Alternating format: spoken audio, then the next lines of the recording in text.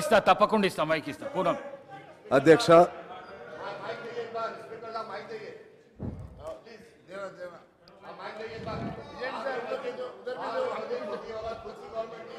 మీకు ధన్యవాదాలు.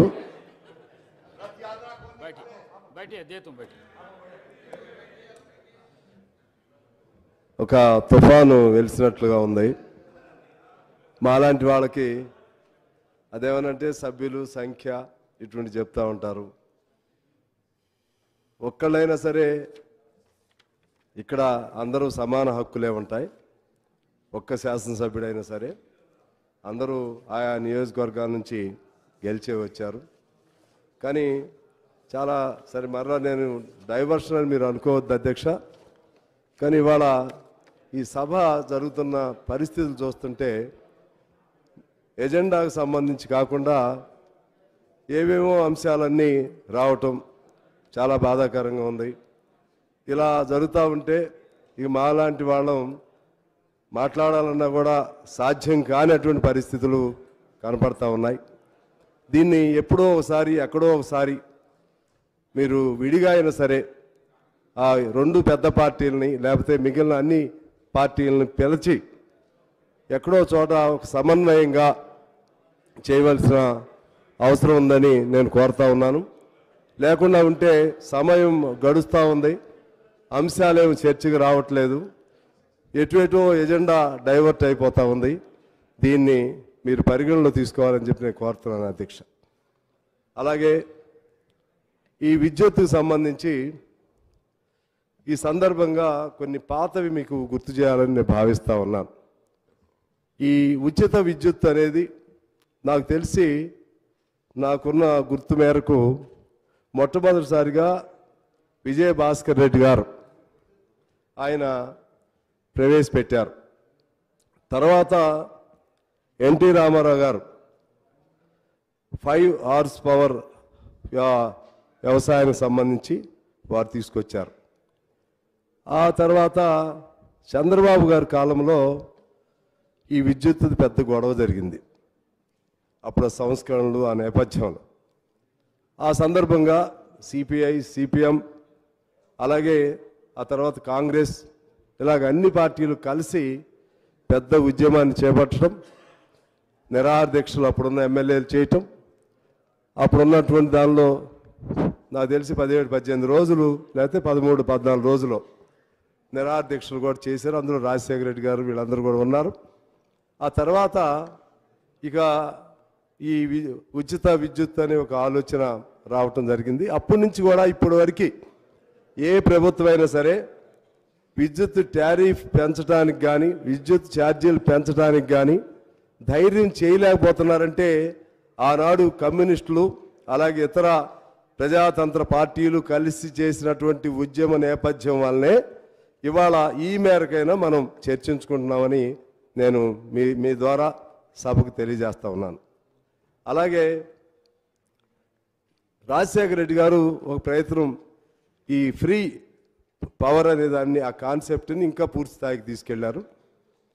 ఇప్పుడు కేసీఆర్ గారు వచ్చిన తర్వాత దీన్ని ప్రాక్టికల్గా సాధ్యం చేయగలిగారు. అవునన్నా కాదన్నా సాధ్యం చేయగలిగారు. మొత్తం మీద అన్ఇంటరప్టెడ్ పవర్ అనేది మనం సాధించుకోవడం జరిగింది. ఈ సందర్భంగా నేను మీ దృష్టికి ఒకటి తీసుకురావాలనుకుంటున్నాను. అప్పుడు మంజూరైనటువంటి అప్పుడున్నటువంటి పవర్ ప్రాజెక్ట్స్ సంబంధించి నాకు తెలిసి ఇందాక మా అది కేటీపీఎస్ అంటే పాల్వంచలో ఉన్నది మా నియోజకవర్గంలోనే ఉంటుంది. అది తెలంగాణ వచ్చిన తర్వాత కమిషన్ అయింది లేకపోతే ఇతర పూర్తయింది కానీ కిరణ్ కుమార్ రెడ్డి గారు ఉన్నప్పుడే దానికి శాంక్షన్ ఇవ్వటం జరిగింది. దానికి సంబంధించినటువంటి ఇన్ఫ్రాస్ట్రక్చర్ మొత్తం కూడా నేనే అక్కడ ఆ కాలేజ్ ఏదో ఉంటే దాన్ని షిఫ్ట్ చేయించటం అవన్నీ కూడా చేశాను. శాంక్షన్ మాత్రం అప్పుడే అయింది. ఆ విధంగా ఈ రెండు వేల పద్నాలుగు తర్వాత అట్లా అది కమిషన్ అయింది. మణుగూరు అంటే ఇప్పుడు భద్రాద్రి యాదాద్రి ఈ రెండు మాత్రం టిఆర్ఎస్ వచ్చిన తర్వాత టేకప్ చేయడం జరిగింది. ఇంకా యాదాద్రి పూర్తి చేయవలసినటువంటి అవసరం ఉంది. ఇది నేను దాని లోతుకి వెళ్ళను. మీకు అది ఒకటి. అంటే ఇందులో కూడా రెండు వేల పద్నాలుగు తర్వాత అనేది మెన్షన్ చేశారు దాన్ని భద్రాద్రిని. కానీ శాంక్షన్ మాత్రం అంత ముందు వచ్చిందని చెప్పడం కోసం మీ దృష్టికి తీసుకొస్తున్నాను పని మీరు వచ్చినాకే. నేనే చెప్తున్నాను. శా- శాంక్షన్ అదే నేను అనేది కూడా అది. కమిషన్ మీ మీ పరిధిలోనే.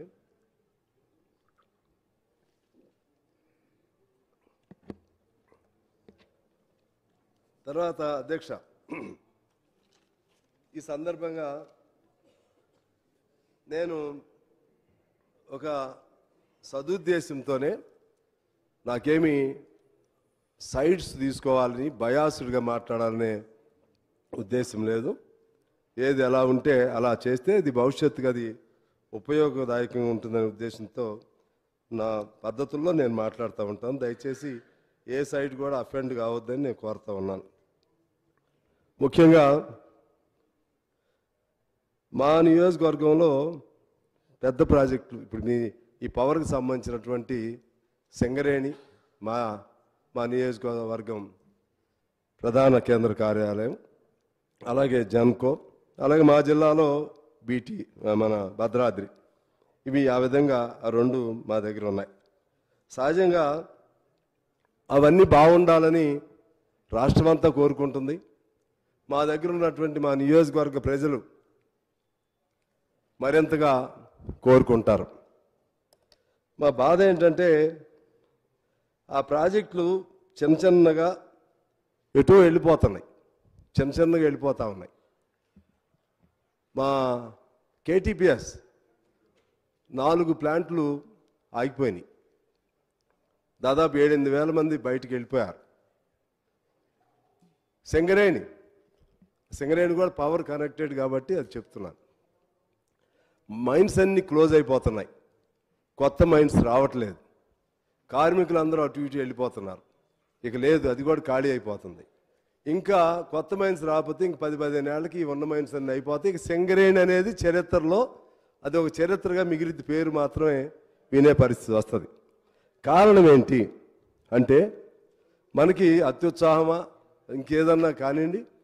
ఎందుకో ఇప్పుడు మన తెలంగాణ రాష్ట్రంలో కేసీఆర్ గారు ఓ పట్టుదలతో అయితే అందరికీ ఏదో చేయాలనుకున్నారు. పట్టుదలతో చేయాలనుకున్న ఆ కరెంటు సప్లై కానీ లేకపోతే ఇతర అంశాల్లో కానీ పొరపాట్లు కొన్ని జరిగినాయి. అది గమనంలో తీసుకోవాల్సిన అవసరం ఉంది. దానికోసం హరియడ్గా ఆ ప్లాంట్ ప్రాజెక్టుల్ని ప్లాన్ చే- ప్రారంభించటం లేకపోతే దానికి సంబంధించినటువంటి టెక్నికాలిటీస్ కానీ దానికి సంబంధించినటువంటి అగ్రిమెంట్స్ కానీ ఇటువంటి చాలా చాలా పొరపాట్లు జరిగినాయి. ఆ జరిగిన దానిలో భాగంగానే ఇవాళ దాదాపు ఎనభై వేల కోట్ల అప్పుకు వచ్చింది. ఈ ఎనభై వేల కోట్ల అప్పులో నాకు తెలిసి యాభై వేల కోట్లు నష్టాలు ఉన్నాయి అప్పు చేయటం అంటే అది అప్పు ఆస్తులు అనే లెక్కలు వస్తాయి. కానీ నష్టాలని మళ్ళీ తిరిగి ఎట్లా తీసుకొస్తాం? యాభై వేల కోట్లు నష్టం వచ్చింది కదా. జరిగిపోయిన నష్టాలను ఎలా తీసుకురావాలి? అది మనం సీరియస్గా ఆలోచన చేయాలి. భవిష్యత్తులో దాన్ని దాన్ని గుణపాఠం తీసుకుని జాగ్రత్త పడాలి. అలాగే విద్యుత్ పంపిణీ సంస్థలకు సంబంధించి మొత్తం దేశంలో యాభై ఒకటి ఉన్నాయి. అందులో సరే మనం మొత్తానికి విద్యుత్ అందించవచ్చు. కానీ ర్యాంకింగ్స్ చూస్తే ఎస్పీడిఎల్సి అంటే సదరన్ మన హైదరాబాద్ పరిసర దీనిది. మనం నలభై మూడో ర్యాంకులో ఉన్నాం. అలాగే ఎన్పిడిఎల్సి నలభై ఏడో ర్యాంకులో ఉన్నాం. అంటే మన నిర్వహణ లోపమా ఇంకా ఇతర కారణాలు ఏదైనా కానీ మన పరిస్థితి అది. ఇది ఇట్ ఈజ్ ఆన్ రికార్డ్ దాన్ని గమనంలో తీసుకోవాలని నేను కోరుతా ఉన్నాను. అలాగే మన ర్యాంకులు తక్కువ ఉండటంతో సి మై సి మైనస్ రేటింగ్ మనకి ఇచ్చారు సి మైనస్ రేటింగ్ ఇవ్వటం వలన అప్పులు తీసుకోలేము.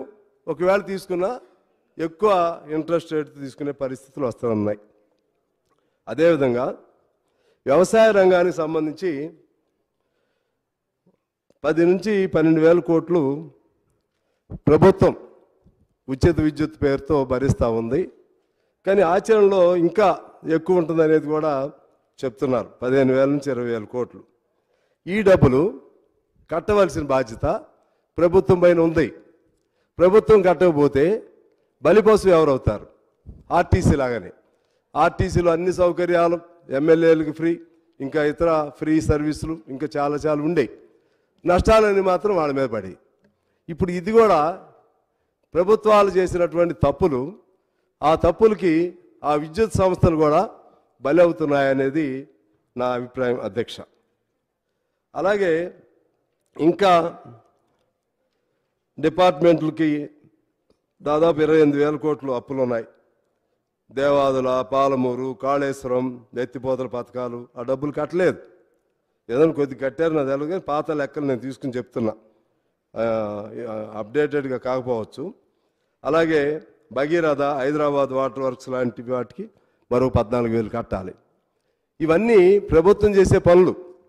ప్రభుత్వం కట్టవలసినటువంటి డబ్బులు. ఈ భారం ఎవరి మీద పడుతుంది అధ్యక్ష? భారం వాళ్ళ మీద పడుతుంది. అలాగే ఇక్కడ ఇది పెద్ద సీరియస్గా మనం ఆలోచన చేయవలసినటువంటి it is the matter to be seriously discussed thought over ఎకరా కాళేశ్వరంకి ఎకరా ఒక పంట ఖర్చు. ఇప్పుడు సగటున కరెంట్ ఖర్చు. యాభై వేల రూపాయలు అవుతుంది. ఇంకా కిందకి వెళితే మల్లన్న సాగర్కి డెబ్బై వేలకు వస్తుంది. భవిష్యత్తులో ఇది పెరుగుతూ ఉంటుంది. అసలు వడ్డీతో కలిపితే దాదాపు లక్షన్నర నుంచి రెండు లక్షలు ఎకరాకే అవుతుంది. మనకు వచ్చేది ఇరవై వేల నుంచి ముప్పై వేలు. It is not that I'm opposing that project దీన్ని ఎలా మనం సరి చేసుకోవాలి? భవిష్యత్తులో కూడా ఈ ప్రాబ్లం ఉంటుంది. ఇప్పుడు ప్రభుత్వం బీఆర్ఎస్ అటు కూర్చొని ఇప్పుడు కాంగ్రెస్ ప్రభుత్వం వచ్చినా సరే కాంగ్రెస్ మీద కూడా ఈ బాధ్యత ఉంటుంది. దీన్ని ఎలా? అది ఎవరు చేసినా గవర్నెన్స్ ఇది. పాత వాళ్ళు చేసిన కంటిన్యూగా నడపాల్సిందే. దీన్ని ఎలా సరిదిద్దుకోవాల్సిన అవసరం ఉందో వాళ్ళు కూడా ఆలోచన చేసుకోవాలని నేను కోరుతా ఉన్నాను అధ్యక్ష. అదేవిధంగా ఈ లోపాలకు సంబంధించి నా నా నేను సేకరించుకున్న సమాచారం ప్రకారంగా ఎందుకింత అప్పులయ్యాయి ఎందుకింత నష్టం వచ్చింది దాని మీద ఒక రెండు మూడు పాయింట్స్ చెప్తే అది భవిష్యత్తులో ఇటువంటి జరగకుండా ఉండటానికి అవకాశం ఉంటుందని నేను భావిస్తూ ఉన్నాను. అందులో ఇప్పుడు ఈ భద్రాద్రికి సంబంధించి సరే గౌరవ ముఖ్యమంత్రి గారు కూడా చెప్పారు. నేను కూడా కొంత దానికి. రెండు వేల పదిహేనులో ఒప్పందం అయింది స్టార్ట్ కావాలి. రెండు వేల పదిహేడుకి పూర్తి కావాలి.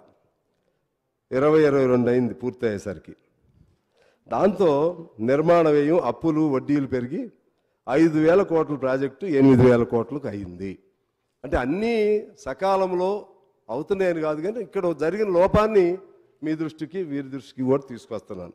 అంటే అది ఆ విధంగా అది కోర్స్ నే ఓకే. ఏదన్నా ఏమి జరిగింది అనేది మీ దృష్టికి తీసుకొస్తున్నాను. తర్వాత ఇక్కడ ఇంకో పెద్ద తప్పు ఏంటంటే బిహెచ్ఎల్ వాళ్ళు ఇండియన్ బుల్స్ అనే కంపెనీకి వాళ్ళు మెషనరీ సప్లై చేశారు అంతకుముందు. వాళ్ళు మాకు వద్దన్నారు.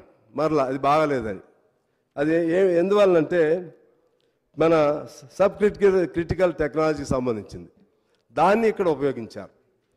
దాన్ని ఇక్కడ ఉపయోగించడం వలన అది ఈ ఈ టెక్నాలజీని వాడవద్దని చెప్పి రెండు వేల పదకొండు పన్నెండులోనే సెంట్రల్ గవర్నమెంట్ దీనివలన అదనపు కోల్ పడుతుంది పొల్యూషన్ వస్తుంది. తర్వాత దాని ప్రొడక్టివిటీ రేటు రీచ్ కాము. ఇటువంటివన్నీ కూడా వాళ్ళు చెప్పడం జరిగింది. దాన్నే ఉపయోగించారు. ఎందుకు ఉపయోగించారు? అవసరం ఏమొచ్చింది? సూపర్ క్రిటికల్ టెక్నాలజీకి ఎందుకు వెళ్ళలేకపోయాం? అది సీరియస్గా ఆలోచన చేయాల్సిన అవసరం ఉంటుంది. దాని నష్టం కూడా ఇప్పుడు మనం దా ఆ నష్టాన్ని కూడా భరించవలసిన పరిస్థితి వచ్చింది. అదేవిధంగా దీనివలన సంవత్సరానికి అదనపు భారం మూడు వందల పదిహేను కోట్లు ఉంటుందని నిపుణుల అంచనా. అంటే దీని దీనికి సంబంధించినటువంటి టెక్నాలజీలో ఉన్నటువంటి లోపం వలన దాని ప్రొడక్టివిటీ కెపాసిటీకి రీచ్ కాకపోవటం వలన ఆ విధంగా దాని జీవిత కాలానికి సంబంధించి లాంగ్ రన్ దా దానికి సంబంధించినటువంటి లైఫ్ ఎండింగ్ అయ్యేసరికి ఏడు వేల ఎనిమిది వందల డెబ్బై ఐదు కోట్ల నష్టం వస్తుంది అధ్యక్ష. ఏడు వేల ఎనిమిది వందల డెబ్బై ఐదు కోట్ల నష్టం. మనం ఇప్పుడు నష్టాన్ని చూస్తున్నాం. రానున్న నష్టాన్ని కూడా మనం చూడాలి. ఇది ఇంకా అది రికరింగ్ రికరింగ్ అంటారో? లేకపోతే దాన్ని అలా కంటిన్యూ అవుతున్నటువంటి నష్టం. దాన్ని జాగ్రత్తగా చూడాల్సిన అవసరం ఉంది అధ్యక్ష. అదేవిధంగా ఇక్కడ ఈ టెండర్స్ పిలిచే ప్రక్రియలో జనరల్గా ఇంత పెద్ద పెద్ద ప్రాజెక్టులు పిలవాలంటే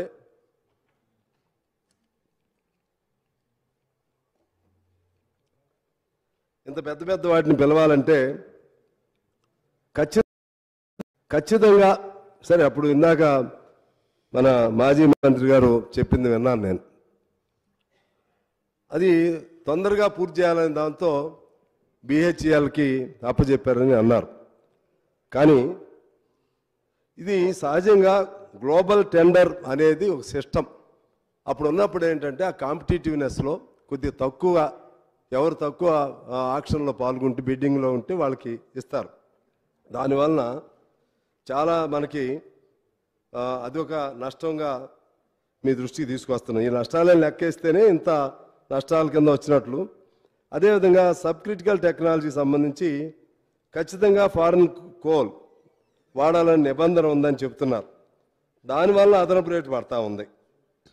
అలాగే మా భద్రాద్రికి సంబంధించిన దాన్ని కట్టేటప్పుడు ఈ అడావిడిలో దానికి సరైనటువంటి హైట్ సరైనటువంటి ప్రదేశంలో లేకపోవటం వలన పల్లవలో కట్టడం వలన కనీస ఎత్తు ప్రమాణాలను పాటించకపోవడం వలన మొన్న జరిగిన వరదలకే కో కోల్ ప్లాంట్ మునిగిపోవటం జరిగింది. రేపు పోలవరం పూర్తయితే ఏమవుతుంది అనేది ఒక ఆలోచన కూడా ఉంది అధ్యక్ష. అలాగే మా జన్కో మా కేటీపీఎస్ మా పాల్వంచికి సంబంధించి అది త్వరితగతిన పూర్తి చేసేసారు సంతోషం. కానీ ఇప్పుడు ప్రతి నెల సంవత్సరంలో రెండు నుంచి మూడు నెలలు ఏదో పేరుతో ట్రిప్ అవటమో ఇంకో పేరుతో ఇంకో పేరుతోనో ఆగిపోతూ ఉంది. దాని వల్ల చాలా నష్టం కూడా వస్తుంది. అది కూడా ఆ నష్టాన్ని కూడా మనం చూసుకోవాలి. భవిష్యత్తులో ఆ విధంగా ట్రిప్ అవుట్ ట్రిప్పింగ్ పేరుతోనో ఇంకో పేరుతోనో అట్లా ఫ్రీక్వెంట్గా ఆగిపోకుండా చూడవలసిన బాధ్యత ఇప్పుడు ఇప్పుడున్న ప్రభుత్వానికి ఉంటుంది. అలాగే ఛత్తీస్గఢ్కి సంబంధించి ఛత్తీస్గఢ్ విద్యుత్కి సంబంధించి సరే ఇప్పుడు ముఖ్యమంత్రి గారు కూడా దాని మీద జగదీష్ రెడ్డి గారు ఛాలెంజ్ని యాక్సెప్ట్ చేశారు. వారు కూడా మీ ద్వారా ప్రభుత్వ నిర్ణయంగా చెప్పడం జరిగింది. ఇది సరే అప్పుడు అప్పుడున్న అవసరం తొందరగా రావాలి కావచ్చు. కానీ అది కూడా దాన్ని కూడా ఒక ఒక ఒక బిడ్డింగ్ లేకపోతే ఆక్షన్ లాగాను ఇంకో పద్ధతుల్లోనూ తెచ్చుకుని ఉంటే బాగుండేది. ఇప్పుడు జరిగింది ఏంటి? అక్కడికి వచ్చేసరికి దీనికి ఎట్లా వచ్చేసిందంటే ఇది క్విట్ ప్రోకో లాగా. మీకింత మాకింత అనేది. నిజమా వట్టిదా నాకు తెలియదు కానీ ఉన్నటువంటి అప్పుడు వార్తల నుంచి ఇప్పుడు చెప్తా ఉన్నాను. దీనివల్ల ఎక్స్ట్రా ఎంత పడుతుందంటే ఐదు రూపాయల యాభై పైసలు దానికి పడుతుంది. బిడ్డింగ్ అయితే మూడున్నర నుంచి నాలుగు నాలుగున్నర రూపాయలతో వస్తుంది అనేది సంవత్సరానికి వెయ్యి కోట్ల నుంచి రెండు వేల కోట్లు నా లాస్. పన్నెండు సంవత్సరాల ఒప్పందం ఇది. అంటే పన్నెండు వేల కోట్లు దీని పేరుతో ఈ ఛత్తీస్గఢ్ పేరుతో విద్యుత్ నష్టం వస్తుందనేది. అలాగే ఫిక్స్డ్ ఛార్జ్ ఛార్జెస్ అంటే ఇప్పుడు మన దానిలో మనం వాడినా వాడకపోయినా దా కారిడార్లు వేసి ఉంటాయి. కారిడార్ల పేరుతో రెండు వేల పద్నాలుగు నుంచి పద్దెనిమిది వరకు ఛత్తీస్గఢ్ నుంచి ట్రాన్స్మిషన్ కాకపోవటంతో ఆ ఉన్న కారిడార్లకి ఫిక్స్డ్ ఛార్జెస్ పేరుతో మరల మనం కట్టాల్సి వచ్చింది. అది ఒక నష్టం. ఇక యాదాద్రికి సంబంధించి సంతోషపడ్డాం. యాదాద్రి అనేది ఈ ప్రాంతానికి కూడా కవర్ అయిద్దని చెప్పి సంతోషపడ్డాం. స్టిల్ ఐఎమ్ ఫర్ దట్ మాకేమి అభ్యంతరం లేదు దాన్ని ఏమి వ్యతిరేకించట్లేదు. అయితే ఇది ఇరవై ఐదు వేల కోట్లతో ప్రాజెక్టు మొదలెట్టారు. ఇది రెండు వేల పద్దెనిమిది నాటికి పూర్తి కావాలి. ఎందుకు తేడా వచ్చింది? ఎక్కడ తేడా వచ్చింది? అంటే ప్రధానంగా ఇంతకుముందు పెద్దలు కేటీఆర్ గారు కూడా చెప్పారు. అక్కడ కడపో లేకపోతే ఇంకో చోట అయితే ఆనాడు మనం తెలంగాణలో పెద్ద ఆందోళన చేశాం. ఏమైనా ఆందోళన చేశాం? ఎక్కడ కోల్ ఉంటే అక్కడ ప్లాంట్ని ఏర్పాటు చేయాలని చెప్పి. ఇప్పుడు ప్రాబ్లం ఏమొచ్చిందంటే కోల్ లేదు అక్కడ. లేకపోతే ఇతర సౌకర్యాలు లేవు. ఆ కోల్ రావాలంటే మళ్ళీ మా ప్రాంతం నుంచి రావాలి. ఆ సింగరేణి నుంచి రావాలి. దాదాపు రెండు వందల యాభై రెండు వందల డెబ్బై కిలోమీటర్లు. దానికి మళ్ళా two లేన్స్ది track two two ways track కావాలి. టూ లైన్స్ది అది లేదు. మరి ఇదంతా ఎప్పుడు అవుతుంది? ఎట్లా వస్తుంది? ఎన్నేళ్ళు పడుతుంది? ఈ మేరకు పెట్టినటువంటి అమౌంట్ దాదాపు సిక్స్టీ పర్సెంట్ పనులు కూడా పూర్తి కాలేదు. ఎయిటీ పర్సెంట్ బిల్లులేం వాళ్ళకి ఇచ్చేశారు. ఇంకెంతకాలం పడుతుంది? ఎంత నష్టం వస్తుంది? ఇది కూడా ఆలోచన చేయాల్సినటువంటి అవసరం ఉంది అధ్యక్ష. అలాగే ఇంకోటి thermal tech power project. Thermal tech power project. ఇది కూడా ఒక ఒప్పందం జరిగింది. ఎనిమిది సంవత్సరాల పాటు విద్యుత్ కొనుగోలు చేయడానికి టెండర్లు పిలిచారు. ఇది ఎవరో నెల్లూరు జిల్లాలో ఒక ఆయనకి ఇచ్చారు మాజీ ఎంపీ. దీనికి సంబంధించి మొదటి టెండర్లో మూడు రూపాయల యాభై ఎనిమిది పైసలు మొదటి ఫేజ్లో రెండో ఫేజ్లో నాలుగు రూపాయల పదిహేను పైసలు పెంచేశారు. దీనివల్ల కూడా ప్రతి సంవత్సరం రెండు వందల యాభై కోట్ల నష్టం. ఎనిమిది సంవత్సరాల్లో దాదాపు రెండు వేల కోట్ల నష్టం వస్తుంది అధ్యక్ష. ఇది ఇక సోలార్. సోలార్కి సంబంధించి కేంద్ర ప్రభుత్వం అంతా ప్రైవేటే మన దగ్గర ఇప్పుడు మన వైట్ పేపర్లో చూపెట్టింది కానీ లేకపోతే మిగిలిన ఉన్నటువంటి సమాచారం ప్రకారంగా సోలార్ సిస్టంలో మన ప్రభుత్వం తక్కువ ప్రైవేట్ సెక్టర్ ఎక్కువ ఉంది. కేంద్ర ప్రభుత్వం సోలార్ విద్యుత్ సంబంధించి బెంచ్ మార్క్ ధరను నాలుగున్నర రూపాయలుగా నిర్ణయించింది. నాలుగున్నర కంటే ఎక్కువ ఎట్టి పరిస్థితుల్లో పెట్టరాదని చెప్పి నిర్ణయించడం జరిగింది. దాన్ని అది కూడా ఈ టెండర్స్ లేకపోతే ఈ ప్రాసెస్లు ఇటువంటివి లేకుండా ఐదున్నర నుంచి ఐదు డెబ్బై రెండు రూపాయలు ఒక నాలుగు వందల ఎనభై ఎనిమిది మెగావాట్లు ఐదున్నర నుంచి ఐదు ఐదు రూపాయలు డెబ్బై రెండు పైసలు. ఒక పదిహేను వందల మెగావాట్లు ఐదు రూపాయలు పదిహేడు నుంచి ఐదు రూపాయలు యాభై తొమ్మిది పైసలు. ఇది ఇరవై ఏళ్ళ ఒప్పందం. ఈ ఇరవై ఏళ్ళు పూర్తయితే ఇది ఏడు వేల ఆరు వందల అరవై కోట్లు నష్టం వస్తుంది. ఉన్నదానికి లేని దానికి ఇలా చాలా ఒక్కోటి ఒక్కోటి అంచ- జాగ్రత్తగా అధ్యయనం చేస్తే ఈ నష్టాలకి తెలిసి జరిగినా తెలియక జరిగినా సరే ఆ నష్టాలకి ప్రభుత్వం బాధ్యత వహించాలి. ప్రధానంగా అధికారులు సరే అధికారులు అంటే ప్రభుత్వ పాలసీ. పొద్దున మా నారాయణ గారు నాకు ఒకటి గుర్తు చేశాడు. ఎవరో? రేచల్ చటర్జీగా సమ్ నేమ్. అంటే చంద్రబాబు గారు ఉన్నప్పుడు ఇటువంటి పవర్ సాధ్యం కాదని ఆమె చెప్పిందని. రాజశేఖర రెడ్డి గారు వచ్చినప్పుడు ఇవ్వచ్చు ఇవ్వచ్చు ఫ్రీ పవర్ ఇవ్వచ్చు అని చెప్పిందని చెప్పి మరి ఈయన అడిగాడంట. మరి ఏంటమ్మా అప్పుడు చంద్రబాబు గారు చెప్పావు ఇప్పుడు రాజశేఖర రెడ్డికి మరి ఫ్రీ పవర్ అంటే? ఆమె చెప్పిందంట ప్రభుత్వాన్ని బట్టే మేమండి మేమేం చేస్తామని. మరి ఇది ప్రభుత్వం తప్ప అధికారులు తప్ప ఇది ఎవరిదైనా సరే. ప్రభుత్వానికి సాధ్యం మేరకు అధికారులు తప్పున పడకుండా తప్పులు ఎక్కడం జరుగుతుంటే దాన్ని నిలవరించాలి. ఆ విధంగా ఇప్పుడు మనం అధికారులనే స్కేప్ కోట్ చేయలేం. ప్రభుత్వం ఉంది తప్పులు ఏమైనా ఉంటే వాళ్ళు కూడా సరి చేసుకోవాలి. రేపు అయినా కూడా మంచో చెడో రేపు ఈ జ్యుడిషియరీ ఎంక్వైరీ ఏదో పెట్టారు కాబట్టి దానిలో ఇవన్నీ కూడా బయటకు వస్తాయని చెప్పి ఆశిస్తున్నాం. భవిష్యత్తులో ఇదంతా కూడా మనం జాగ్రత్తలు తీసుకోవాల్సిన అవసరం ఉంది అధ్యక్ష. ఇక సింగరేణికి సంబంధించి రెండు వేల పదిహేనులో పెద్ద తప్పు జరిగింది. రెండు వేల పదిహేనులో ఎంఎండిఆర్ఏ పార్లమెంట్లో బిల్లు పాస్ అయింది. అంటే mines mineral development regulatory authority పేరుతో. ఆ బిల్లు ప్రకారంగా అంతకుముందు ఇందిరాగాంధీ గారు ఉన్నప్పుడు అన్ని ప్రైవేట్గా ఉన్నటువంటి బొగ్గు గనులను కూడా ఇందిరాగాంధీ కార్య ఇందిరాగాంధీ గారి కా- సమయంలో పాలనలో దాన్ని ప్రభుత్వ రంగంలో తీసుకోవడం జరిగింది. ప్రభుత్వ రంగంలో తీసుకున్న వాటిని మరలా ప్రైవేట్ వాళ్ళకి ఇవ్వచ్చని రెండు వేల పదిహేనులో పార్లమెంట్లో చట్టమైంది. మరి అప్పుడు మన ఎంపీలు మా అందరూ ఉండి ఉంటారు అక్కడ. సరే ఉన్నా కూడా మరి మెజారిటీని బట్టి కాబట్టి ఇప్పుడు దాని ప్రభావం ఏం జరుగుతుందంటే ఇప్పుడు మనకు ఒక్క మైన్ కూడా మనం సొంతంగా చేసే పరిస్థితిలో లేం. వాళ్ళు బయట వాళ్ళు రావట్లేదు. ప్రైవేట్ వాళ్ళు కూడా మాకు గిట్టదంటారు. మేము ప్రైవేట్ వాళ్ళకే ఇస్తామని వీళ్ళు అంటారు. ఒకటి కో సత్తుపల్లి మన కోయిగూడెం ఒకటి మాత్రం మా కొత్తగూడెం ప్రాంతంలో ఉన్న కోయిగూడెం త్రీ ఓసి ఒకటి మాత్రం అరవిందో కంపెనీ వాళ్ళు టేకప్ చేశారు. మిగిలిన వాటికి సంబంధించి వాళ్ళు టెండర్లు పిలుస్తున్నారు రారు. టెండర్లు పిలుస్తున్నారు వాళ్ళు రారు మేము అడ్డుకుంటున్నాం. దీనికి దీనికి మొన్న ప్రధానమంత్రి గారు వచ్చినప్పుడు కూడా మేము ఈ అంశాలు చెప్తే వారు ఏం చెప్పారంటే మేము సింగరేణిని ఏం డిస్టర్బ్ చేయట్లేదు. అంటే అర్థం ఏంటంటే వచ్చే కొత్త మైన్స్ ఏది ఉన్నా సరే ఇది రెండు వేల పదిహేను నుంచి ఉన్న సింగరేణి మైన్స్ ఉంటాయి. కొత్త మైన్స్ ఏది వచ్చినా సరే అది టెండర్సే పిలుస్తాం. ప్రైవేట్ వాళ్ళకి ఇస్తాం అని చెప్పకుండానే ఆయన చెప్పారు. అందువలన రాష్ట్ర ప్రభుత్వం ప్రధాన బాధ్యత. మన మైన్స్ని మన ఉప ముఖ్యమంత్రి గారు విద్యుత్ శాఖ మంత్రి గారు కూడా కాబట్టి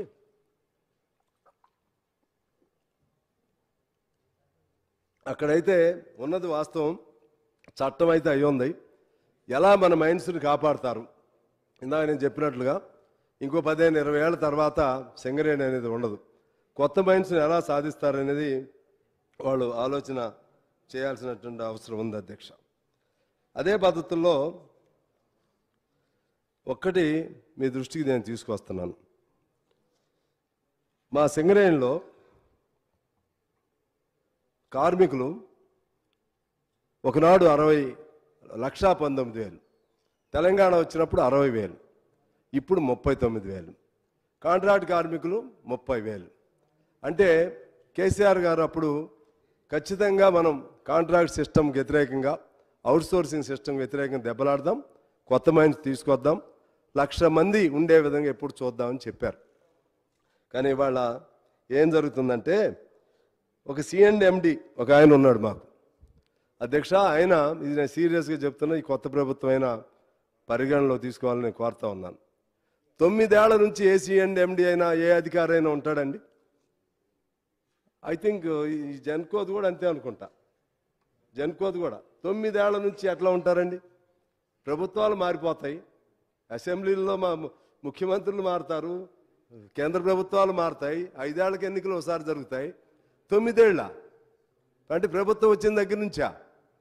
దీనివలన మా సింగరేణిలో పెద్ద కుంభకోణాలు జరిగినాయి. ఇప్పుడు ఇది ఎలా విచారణ చేస్తున్నారో సింగరేణి పైన కూడా సింగరేణి కూడా దీని పరిధిలోకి ప్రత్యేకంగా ఈ జ్యుడిషియల్ విచారణ పరిధిలోకి తీసుకురావాలని నేను కోరుతా ఉన్నాను. దాదాపు యాభై అరవై వేల కోట్లు దాన్ని మిస్యూజ్ అయినాయి పక్కకు వెళ్ళిపోయాయి. అలాగే ఇందాక ఇందాక వైట్ పేపర్లో ఆ పెట్టిన దానిలో నేను ఇందాక బట్టి గారిని కూడా క్లారిటీ అడిగాను. దానిలో మాకు రావాల్సినవి ఇందాక పదిహేడు వేల కోట్లు ట్రాన్స్కో నుంచి రావాలి. ఆ ఫిగర్ అందులో చూపెట్టలేదు. తక్కువ చూపెట్టారు. అలాగే జెన్కో నుంచి పన్నెండు వేల కోట్లు. అంటే టోటల్గా ఇరవై తొమ్మిది వేల కోట్లు రావాలి. అది కొద్దిగా ఈ మధ్య ఏదో కట్టారంటున్నారు దాన్ని టు బీ కరెక్టెడ్. ఇక్కడ జైపూర్ నుంచి అని ఇందాక జైపూర్ది కూడా మన పెద్దలు మాట్లాడుతూ చెప్పారు. జైపూర్ది సింగరేణి ప్లాంట్ అది. ప్రభుత్వంది కాదు. అంటే అక్కడికి వచ్చేసరికి అవి కార్పొరేషన్లు వేరు అంటాం. మళ్ళీ వచ్చేసరికి ప్రభుత్వంగా కొన్ని వచ్చేసరికి ప్రభుత్వంగా ఓన్ చేస్తాం. మళ్ళీ కన్వీనియంట్గా ఏది ఎట్లా కావాలో అట్లా కలుపుకుంటూ ఉంటాం. అది సింగరేణిది. జైపూర్ ప్లాంట్ అనేది సింగరేణిది. సింగరేణి పన్నెండు వే పన్నెండు వందల మెగావాట్స్ దానికి పవర్ కెపాసిటీ ఉంది. ప్రొడక్టివిటీ కెపాసిటీ ఉంది. నాలుగున్నర సంవత్సరాల నుంచి అధ్యక్ష ఒక రూపాయి కూడా ప్రభుత్వం దానికి పే చేయలేదు. ఈ పద్ధతుల్లో ఉండటం వలన సింగరేణిలో ఒకప్పుడు బాగా సిరులు పంచిన సిరులు నింపిన సింగరేణిని మా వాళ్ళు పాటలు పాడుతూ ఉంటారు. ఇవాళ సిరులు లేవు ఎండిపోతున్న సింగరేణిగా అయింది. కార్మికులు లేని సింగరేణిగా అయింది. సింగరేణి అంటే బండ బండ చాటున బండ కింద నలిగిపోతున్న కార్మికుల రక్తంతో నల్లబొగ్గు ఎర్రగా మారినటువంటి గొప్ప చరిత్ర కలిగిన సింగరేణి మహానుభావులు శేషగిరిరావు గారు కొమరయ్య గారు విఠలరావు పెద్ద పెద్ద వాళ్ళందరూ సింగరేణిని కాపాడటానికి ఎంతో కృషి చేస్తే ఇవాళ సింగరేణి ఇవాళ కనుమరుగయ్యే పరిస్థితి వస్తూ ఉంది. దీన్ని కొత్త ప్రభుత్వం దాన్ని ఎలా సెట్ చేయాలో దాన్ని జాగ్రత్తగా ఆలోచన చేయాలి. సింగరేణిలో పనిచేసే కార్మికులు దిగిపోయిన తర్వాత సొంత ఇల్లు లేనటువంటి దిక్కు లేని పరిస్థితుల్లో ఒకనాడు దక్షిణ భారతదేశానికే వెలుగులు ఇచ్చినటువంటి సింగరేణి ఇవాళ దిగిపోయిన తర్వాత కార్మికులు సొంత ఇల్లు లేకుండా మన వాచ్మెన్ లాగాను ఇంకో చోట ఉద్యోగాలు చేసే పరిస్థితి వస్తుంది అధ్యక్ష. అందుకని కొత్త ప్రభుత్వాన్ని నేను కోరుతా ఉన్నాను. వాళ్ళకి చాలా స్థలం ఉంది సింగరేణిలో. ఎకరాల ఎకరాల స్థలం ఉంది. పనిచేసే ప్రతి కార్మికుడు రెండు వందల గజాల స్థలం ఇస్తే వాళ్ళే మళ్ళీ ప్రభుత్వం లోన్ ఇస్తుంది. బ్యాంకులు లోన్ ఇస్తాయి. ఇబ్బంది లేకుండా వాళ్ళు ఇల్లు కట్టుకుంటారని చెప్పి నేను తెలియజేస్తా ఉన్నాను. అలాగే అందులో ఉన్నటువంటి కాంట్రాక్ట్ వర్కర్లను చిన్న చిన్నగా ఫేజ్డ్ మేనర్గా అయినా సరే వాళ్ళు కనీసం పర్మనెంట్ చేయలేకపోయినా హై పవర్ శాలరీస్ అనేది కోల్ కోల్ ఇండియాలో ఇస్తున్నారు. వాళ్ళకి అవి ఇప్పించే విధంగా చేయాలని నేను కోరుతున్నాను. అలాగే విద్యుత్కి సంబంధించినటువంటి అంశానికి సంబంధించి అక్కడ అక్కడ కూడా ఇదే పరిస్థితి. దాదాపు అరవై వేల మంది కార్మికులు ఉన్నారు. అరవై వేల మందిలో సగం మంది ఆర్టిజన్స్ పేరుతో ఉన్నారు. మన కన్స్ట్రక్షన్ వర్కర్స్ టీఆర్ఎస్ ప్రభుత్వం అధికారంలోకి వచ్చినాక వాళ్ళని ఆర్టిజన్స్ అనే పేరు పెట్టారు అధ్యక్ష. ఆర్టిజన్స్ అనే పేరులోనే అది బ్రిటిష్ అవశేషాలు ఉన్నాయి. ఆర్టిజన్స్ అంటే ఏ పని పడితే ఆ పని చేసేటువంటి వాళ్ళు. దాన్ని అలాగే చూస్తూ ఉన్నారు.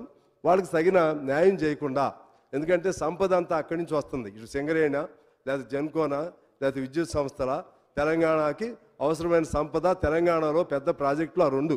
ఆ రెండిట్లో పనిచేస్తున్నటువంటి ఇక్కడ పనిచేసే కాంట్రాక్ట్ కార్మికులు కానీ అక్కడ పనిచేసే ఆర్టిజన్స్ కానీ వాళ్ళకి వాళ్ళ బ్రతుకులు కొద్దిగైనా బాగుండి ఈ జీతబత్యాలు వాళ్ళకి సరిగా ఇస్తే వాళ్ళు భవిష్యత్తులో మన సంస్థల్లో ఆ ప్రొడక్షన్ పెంచడంలో వాళ్ళు ఉపయోగపడతారు.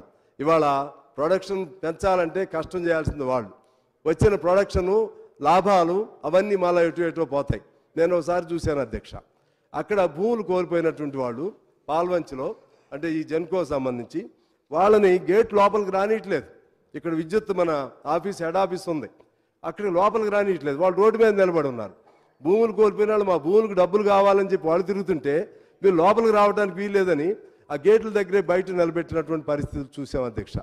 అందువలన భూములు కోల్పోయినా లేకపోతే ఇతర దానిపైన దెబ్బతిన్నటువంటి వాళ్ళందరినీ సిఎస్ఆర్ పాలసీ కిందో ఇంకో దాని కిందో సిఎస్ఆర్ పాలసీ పేరుతో డబ్బులన్నీ డైవర్ట్ చేస్తున్నారు. అది అక్కడ సంక్షేమానికి చూస్తూ. ఆ ఉద్యోగస్తులు బాగోగులను చూస్తూ. ఆ విధంగా ఆ రెండు పరిశ్రమల్ని బాగు చేయాల్సిన అవసరం ఉందని తెలియజేస్తూ చివరిగా నేను మనవి చేసేది ఒకటే. భవిష్యత్తులో సింగరేణి బతకాలి జన్కోలు బతకాలి.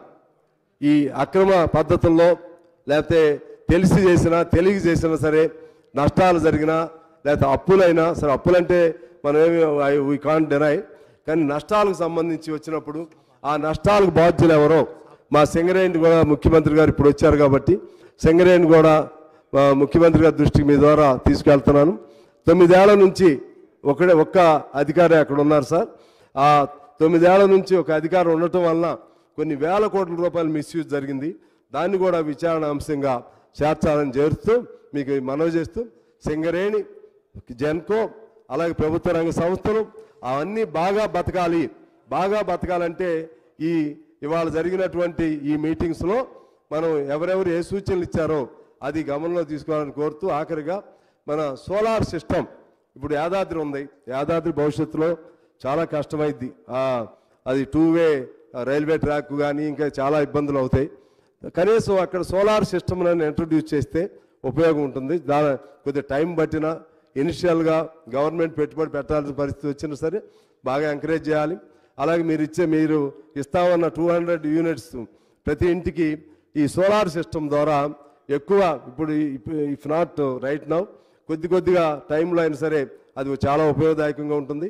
ఈ విధంగా చేస్తూ ఈ తెలంగాణ కొత్తగా ఏర్పాటైన తెలంగాణలో దీన్ని ముందుకు తీసుకువెళ్ళే వెళ్ళవలసిన అవసరం ఉందని మనవి చేస్తూ మీ మీకు ధన్యవాదాలు తెలియజేస్తూ సెలవు తీసుకుంటున్నాను అధ్యక్ష. నమస్కారం. జూపల్లి కృష్ణారావు గారు మంత్రి గారు. అధ్యక్ష ఈ ఫ్రీ విద్యుత్ సంబంధించి అధ్యక్ష ఈ ఫ్రీ విద్యుత్ సంబంధించి నాంది ఎక్కడి నుంచి మొదలైందో. రెండు నిమిషాలు చెప్పాల్సిన అవసరం ఉంది అధ్యక్ష. వారి పేరు తీయలే ఖాళీ కాన్స్టిట్యున్సీ పేరు చెప్పినారు. మీరు స- సభను సజా సజావుగా